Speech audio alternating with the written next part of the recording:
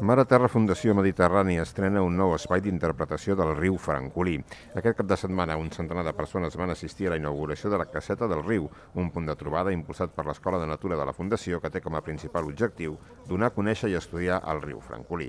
Per fer-ho, compta amb una maqueta única que abraça tota la conca hidrogràfica del riu, durant l'acte inaugural, els impulsors de la iniciativa van exigir a les administracions la implementació d'un projecte per recuperar i protegir l'ecosistema del francolí.